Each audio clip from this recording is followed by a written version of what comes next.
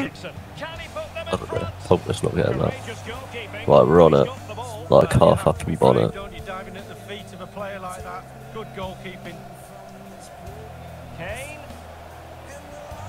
An attack full of promise. Oh, big chance. That was that, was, was- delightful. that That's was- utterly delightful. that was actually one of the best goals I think I ever scored in this game.